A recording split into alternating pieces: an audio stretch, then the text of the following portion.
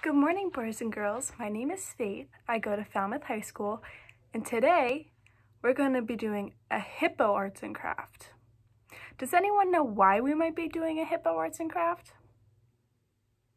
That's right, it's because it's Hippo Day. So this craft is a little different. Instead of actually having circles or the actual shape of a hippo, we're doing hearts because it's still February, and February is the month of Valentine's Day. So what you're going to need for this project is this template that you cut out all the pieces for, a glue stick, and some scissors.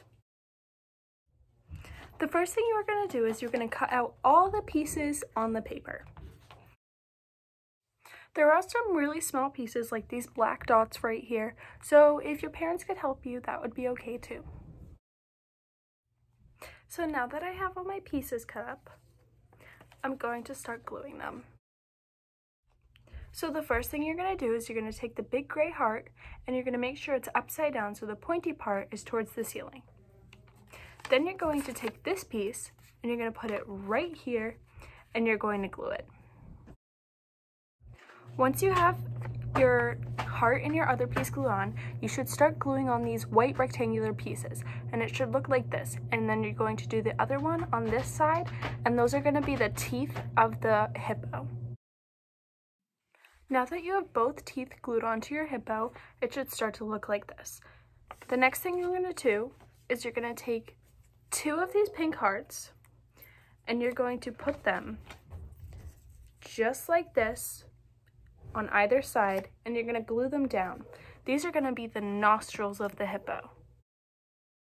After you've glued the hearts down, it should look like this.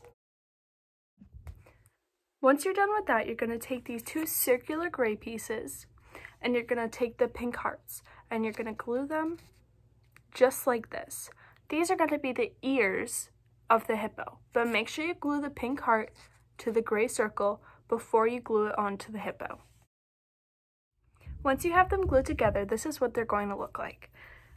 Now what you're going to do is you're going to take these pieces that you just glued together and you're going to put them right at the corner of the tip of the heart, just like this on either side. Once you've done that, it should look like this, and your hippo should start looking like a hippo now. Does anyone know what else it needs? That's right, eyes.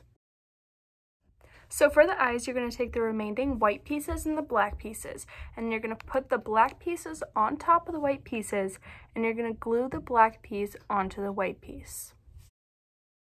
Now that you have your black pieces glued to your white pieces, it should look like this. And you're going to take your hippo, and you're going to glue the eyes onto the hippo, just like this. Once you guys have done your eyes on your hippo, it should look like this, and you're all done. I hope you guys had fun. Goodbye and happy Hippo Day.